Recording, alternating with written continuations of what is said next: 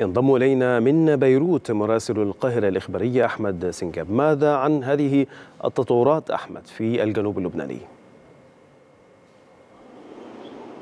نعم تحياتي لك في البداية. بالفعل الساعات الماضية منذ مساء أمس شهدت تصعيدا كبيرا في الجبهة الجنوبية اللبنانية وذلك بعد قيام جيش الاحتلال الإسرائيلي باستهداف منزل في بلدة خربة سلم. في الجنوب اللبناني التي تقرب أو تقع على مسافة قريبة من بلدة تبنين. علما بأن بلدة خربة سلم لم لم لم تكن هذه هي المرة الأولى التي يتم استهدافها بغارات جوية إسرائيلية حيث أنها البلدة التي تم اغتيال قيادي في حركة حماس في حركة في حزب الله فيها في شهر يناير الماضي وهو القيادي في حزب الله وسام الطويل. في شهر يناير عبر استهداف سيارته بمسيرة إسرائيلية. مساء أمس أيضا تم استهداف منزل بمسيرة إسرائيلية أطلقت صاروخين مما أسفر عن سقوط خمس قتلى على الأقل وعدد من الجرحى من بينهم ثلاثة نعاهم حزب الله في بيانات متتالية مساء أمس. لم تكن هذه هي الغارات الجوية الوحيدة التي نفذها جيش الاحتلال الإسرائيلي على مدار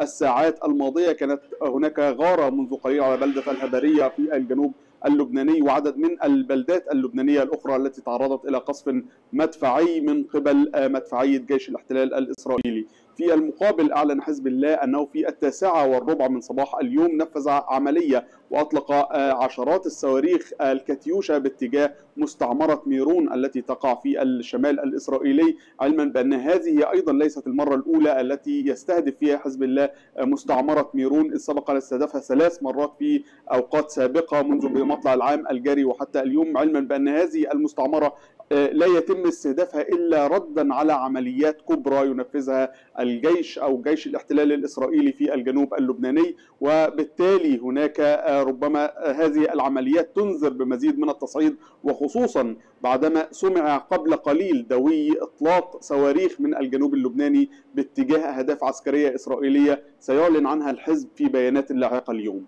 نعم يعني استهداف قواعد عسكرية بعينها الجرمق وقاعدة ميرون وما استهدفها حزب الله أكثر من مرة. في المقابل هناك تحركات إسرائيلية على الحدود الجنوبية اللبنانية أحمد لشن عملية عسكرية موسعة كما يقول قائد القيادة الشمالية الإسرائيلية. هل هناك استعدادات في المقابل من حزب الله؟ ما إذا شنت إسرائيل هذه العملية العسكرية؟ بالتأكيد أكد حزب الله اللبناني أنه مستعد لأي تصعيد على الجبهة الجنوبية اللبنانية معتبرا أن كافة العمليات التي ينفذها تأتي في إطار رد الفعل وفي إطار القاعدة التي تحدث عنها الأمين العام للحزب وهي قاعدة المدني بالمدني والتصعيد مقابل التصعيد وأيضا الدخول في العمق مقابل الدخول في العمق علما بأن العمق وصل إلى مدى لم يصله من قبل خلال الأيام وخلال الساعات القليلة الماضية عبر عمليات الاستهداف فبالتالي أيضا كان هناك تصريح لافت لرئيس الكتلة البرلمانية لحزب الله في مجلس النواب النائب محمد رعد حينما قال إن مخازن الأسلحة الخاصة بالحرب المفتوحة مع إسرائيل لم تفتح بعد في إشارة إلى أن الحزب لديه العديد من الخيارات في حال اختيار إسرائيل التصعيد في الجنوب اللبناني والخوض أو دخول مواجهة شاملة مع الدولة اللبنانية في هذا التوقيت، وبالتالي هناك بالفعل استعدادات أيضا في الجنوب تحسبا لأي عدوان شامل من قبل جيش الاحتلال الإسرائيلي على الجنوب اللبناني. نعم، ما التفاصيل حول ما قالت عنه اليونيفيل بأن قوة مشتركة منها ومن الجيش اللبناني تعرضتا لهجوم إسرائيلي في الساعات الماضية؟ وأيضا هناك حديث عن الرد على هذا الهجوم.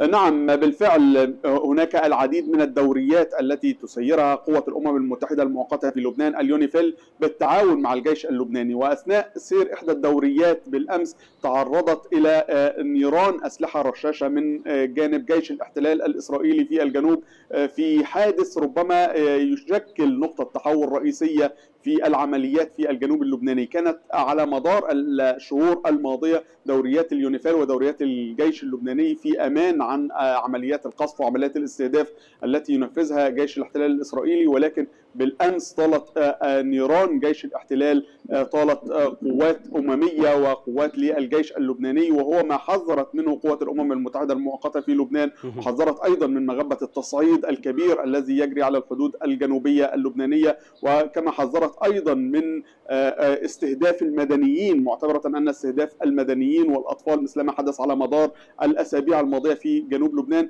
اعتبرت أن هذا الاستهداف هو يندرج تحت جرائم الحرب. أيضا استهداف القوات الأممية في الجنوب يندرج تحت جرائم الحرب وأيضا يضع دولة الاحتلال الإسرائيلي تحت طائلة القانون الدولي الذي ينص على ضرورة احترام هذه القوات الأممية وخصوصا أن الوظيفة الأساسية لها في الجنوب اللبناني هي حماية الأمن والسلم وأيضا الوظيفة الأساسية لها هي حلقة وصل ما بين الجانب اللبناني والجانب الإسرائيلي لبحث سبل التهدئة وخفض مستوى التصعيد كما أنها أيضا تقوم بدعم السكان المحليين في الجنوب اللبناني الذين يعانون على مدار الأشهر الماضية جراء الاعتداءات الإسرائيلية المتكررة التي دمرت المنازل ودمرت أيضا البنى التحتية ودمرت قطاعات كبيرة من الأراضي الزراعية في الجنوب اللبناني. فيما يتعلق بسبل التهدئة أحمد هل استقبلت الحكومة اللبنانية أي ردة أو ردود فعل من المبعوث الأمريكي بعد زيارته لإسرائيل هل هناك من سبل للتهدئة بين الجانبين بهذه الوساطة الأمريكية والمساعي الأمريكية؟ نعم لم تتلقى الحكومة اللبنانية أي رد من المبعوث الأمريكي عاموس هوكشتاين بعد مغادرته إسرائيل رغم أن هناك تفاؤل كبير بالزيارة التي قام بها عاموس هوكشتاين للعاصمة اللبنانية بيروت الأسبوع الماضي. ربما هذه هي المرة الأولى التي يتحدث فيها الجانب اللبناني عن تفاؤل جراء المبادرة التي حملها هوكشتاين إلى العاصمة اللبنانية بيروت بعد لقائه مع رئيس مجلس النواب اللبناني نبيه بري وأيضا لقائه مع رئيس حكومة تصريف الأعمال اللبنانية نجيب ميقاتي وقائد الجيش اللبناني العماد جوزيف عون ولكن في هذه المبادرة رغم أن هذه هي الزيارة الثالثة لأموس هوكشتاين منذ بداية التوترات على الحدود الجنوبية في الثامن من شهر أكتوبر الماضي ولكنها كانت الزيارة الأكثر جدية وفقا للوصف الذي تحدثت به مصادر مطلعة في عين التينة في مقر مجلس النواب اللبناني عن هذه الزيارة وعن هذه المبادرة. فكل هذه الآمال تبددت بعد مغادرة أموس هوكشتاين لإسرائيل دون التوصل إلى أي اتفاق أو إلى أي تسوية علما بأن هذه المبادرة وفقا للمصادر أيضا كانت تتضمن الحفاظ أو ضمان عودة المستوطنين الإسرائيليين إلى مستوطناتهم في الشمال الإسرائيلي وأيضا عودة النازحين اللبنانيين إلى قراهم وأيضا الشروع في عملية تنمويه شاملة في قرى وبلدات الجنوب اللبناني جراء التي تضررت بشكل كبير جراء القصف الإسرائيلي لهذه البلدات على مدار الشهور الماضية. أحمد سنجاب مراسل القاهرة الإخبارية من بيروت شكرا جزيلا لك.